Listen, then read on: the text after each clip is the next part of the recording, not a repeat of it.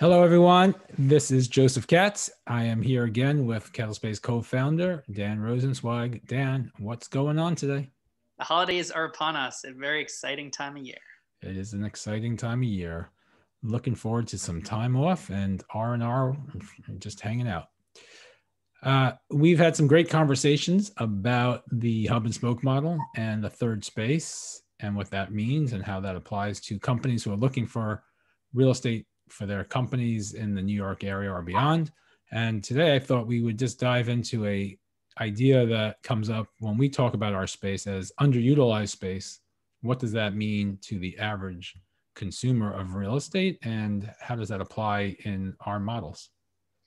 Well, great question. So I think it really varies of who uh, who the audience is. Um, beauty tends to be in the eye of the beholder.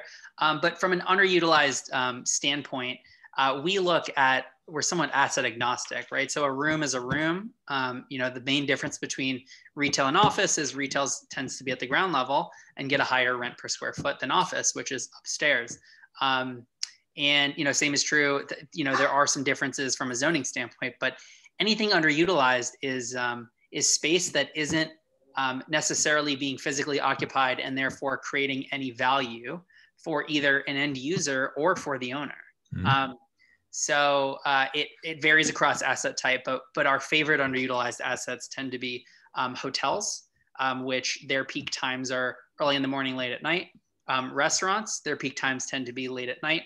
Um, event spaces, which tend to um, be more occupied during uh, the weekends than, than during the week, or if they are occupied um, later in the evenings.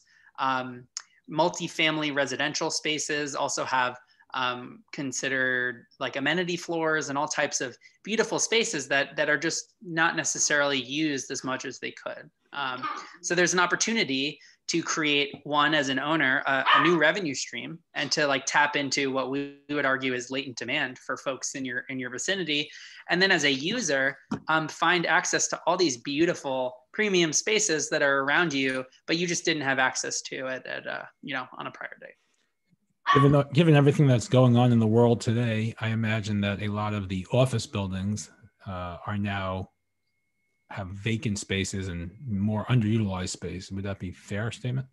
Yeah, so it, it really depends. Um, you know, uh, office leases tend to span several years. So um, there tends to be a call it a nine to 18 month lag in what happens on a macro uh, standpoint and then how it actually affects the market.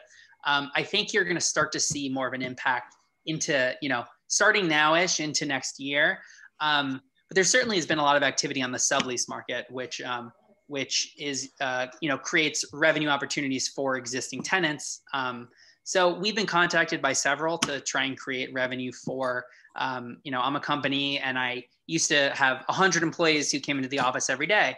Uh, now during COVID and after, because of our model has shifted a little bit, um, we we only need a, a, half to a quarter as much of the space, and I'm still stuck paying rent for the full amount. So what we can do is help create revenue opportunities on that existing 50% um, if they're so inclined. So um, it really varies. You know, uh, we tend to like spaces that are um, built out already um, to create a lease an, easier, less expensive, um, you know, revenue opportunity. But we're certainly open to consider floors that you, you know, are, are demoed um, or, uh, you know, down to the studs, as you might say. So, you know, you talk about restaurants, hotels, event spaces. That implies that those spaces are all, you know, semi-public, not private. Uh, in our inventory of space, I imagine, and you know, I know, a little bit of a loaded question that we have space that is private and available for use uh, as either dedicated space or private space. Um, so talk a little bit about that. Happy to. So um, coming back to like rooms are rooms, right? Um, there are some spaces like uh, call it a hotel lobby that um, unless you had a really big company wouldn't necessarily make sense to be fully private, right? Um, but there are conference rooms or there are um, you know private dining rooms and restaurants like wine cellars and uh, all sorts of uh, high tech, beautiful rooms in, in, all of these assets, right? Hotels have hotel rooms themselves that lend themselves really nicely to private space, right? Uh, and private meaning that you're paying a little extra but getting exclusive access to it, right? So um, in my view, th- whether it's a conference room, it could be a conference room one day.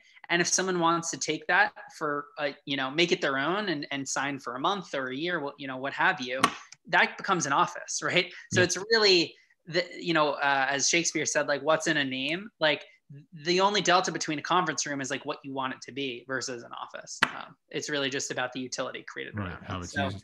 Um, you know, we try and be as flexible as we can and and give each room its own opportunity to really be what it wants. Uh, and and same for the end user, letting them choose the um, you know the rooms and and uh, access the spaces of their dreams. So if a company and a team would like private space, we can offer we can provide that we have a bunch. Come talk to us. We have yeah. um, currently we're working with the Rogers Hotel, the Mondrian Hotel, the Standard Hotel.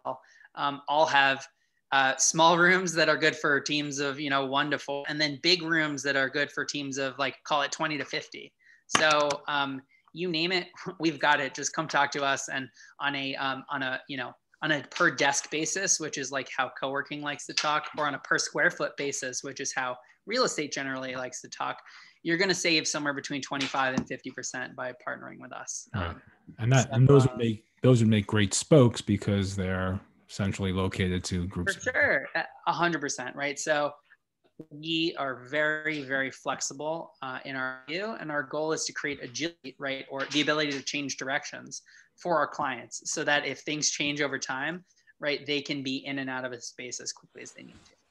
It's Awesome. Um, I'm sure each person, each company is going to have their unique set of requirements and that you could work with them to find out and find a place that makes the most sense for them. So I'll let them get in touch with you. Of course, we'll but, take a data driven approach. And our goal is going to be really to understand what your goals are, what space, not just why space, but like what's the point? What's the outcome? Are you trying to retain talent? Um, are you trying to um, increase revenue? Are you trying to do both? Uh, are you trying to cut down commute times? Be eco-friendly, right? We can help you do all of the above and more. So um, if you're interested, please give me a call. Excellent, Dan. Appreciate you taking a few minutes today to talk about this topic. Uh, wishing you and the family happy holidays and all the best. And uh, we'll speak again soon. In the new year. Have a great one, everyone. Speak to you soon. Bye, guys.